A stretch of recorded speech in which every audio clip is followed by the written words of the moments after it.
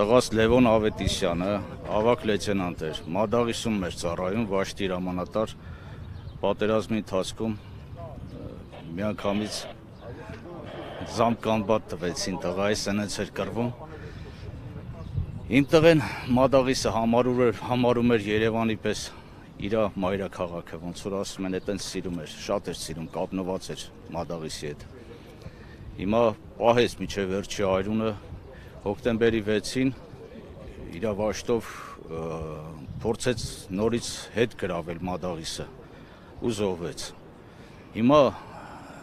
ինչ եմ այստեղ, այդ ստոր արարածը հայտարարություն արեց, որ ինքը կարող էր պատերազմը կանգնացնել, այս նույն պայմանները լիներ, բայց թույլ տվեց, որ պատերազմը շարունակվի դեռ մի բան էլ ավելին կոչով էր դիմում, թե գնացեք տունը ինչ ունեք, հակեք, գնացեք, պահեք միջև սա սարդարապատ է, դա իր խոսքերն է։ Ես չեմ կարող ասել մարդիկ երևի կան ավելի պինդ, բայց ես չէ, չեմ կարող նայել ինչպես է Հայաստանը կործանվում։ Ես գնում եմ ծայրահեղ քայլի, հայտարարում եմ միջև մայիսի 8-ը հացադուլ Մայիսի 8-ին ես կգնամ ավելի ծայրեղ քայլի, ես դրան պատրաստ եմ ու ուզում եմ դիմեմ Հայաստանի Հանրապետության դատախազությանը, ազգային անվտանգության ծառայությանը, որ ձերբակալեն Դավաճանին, որ ձերբակալեն վերջապես Հայաստանի Հայաստանում վարչապետ նստած այդ թշնամու գործակալին որովհետև այս կերպ էլ հնարավոր չի ապրել։ Այս կերպ ես չեմ կարող պատկերացնել, թե ել ինչ կարող է լինել, որ մենք ձերբազատվենք այդ վարչապետ կոչեցյալից։ Ես հույսով եմ միջև մայիսի 8-ը կլինի այդ նախաձեռնությունը դատախազության կողմից, ԱԱՑ-ի կողմից ձերբակալվի, եթե ոչ, ես պատրաստվում եմ ասեմ ձեզ, մայիսի 8-ին Շուշի ազատագրման օրը ես հենց ինձ գհրկիզեմ հանրապետության հրապարակում ես դիմում եմ բարձրաստիճան սպաներին, գեներալներին, եթե թանկ է ձեր համար սպայի կոչումը, դուք նույնպես կմիջամտեք գոնե այդ օրը, եթե չանի իհարկե դատախազություն ու ԱՀՑ-ն առայժմ այսքանը։ Պարոն Ավետիսյան, դուք շատ ծայրահեղական քայլ եք հիմա ներկայացնում։ Դա Նիկոլ Փաշինյանի վերջին հայտարարությունների ի՞նչ է պատճառը, այսինքն դա է պատճառը, որ դուք հիմա նման քայլ եք դիմում, ճիշտ եմ հասկանում։ Այո, դա է պատճառը, իր հայտարարությունը, դե եթե չհայտարարեր, ես միևնույն է, վստահ էի, որ նա կարող էր կանգնեցնել ու չի արել դա, բայց այդ հայտարարությունը լկտի բաց էի բաց, որ ես եմ սպանել ձեր տղաներին, բան կա ասելու, եկեք ասեք, մի խոսքով դա նկատի ուներ։ Հիմա իհարկե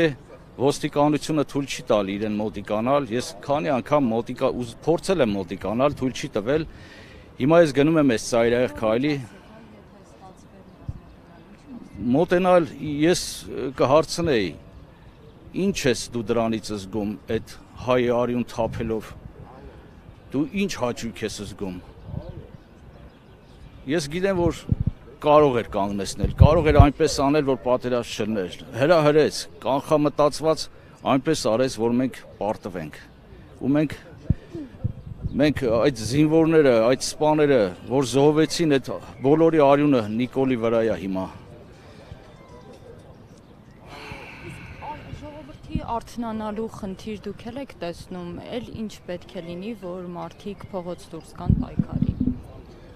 Ժողովրդին արթնանալու ես կարծում եմ արթուն է ժողովուրդը։ Մի մասը համակերպվել է, որ կարելի է Թուրքիայի, Ադրբեջանի հետ ապրել, մեն մյուս միացն էլ պայքարում է, բայց ոնց տեսնում ենք անօքուտ ոչինչ չի ստացվում։ Ես իզորու չեմ տեսնեմ, թե ինչպես է իմ հայրենիքը կործավում։ Ես ավելի լավ է չլինեմ, չտեսնեմ, քան թե ես տեսնեմ։ Ես գնում եմ այդ ծայրաղի քայլին եւ պատրաստ եմ իջե վերջ Միջև վերջ, միջև մայիսի 8-ը Շուշի ազատագրման օրը, որը որ ինքը ասեց, որ Շուշին դա մի դժբախտ դժգույն քաղաք է, դա մեր համար սուրբ քաղաք է։ Դա ինձ համար Արցախի մայրաքաղաք է նախ եւ առաջ։ Ես խոստանում եմ Նիկոլ Փաշինյանի ձերբակալումից հետո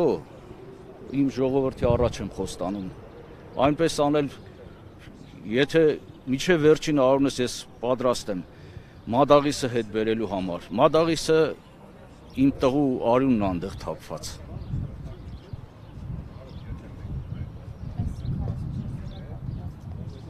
Այո, 44 օրյա պատերազմում հոկտեմբերի 6-ին փորձեց Մադաղիսը հետ գրավել, չստացվեց, ովեց։ Դուք այսօր այստեղից հայտարարում եք, որ իրականացնելու եք հացադուլ։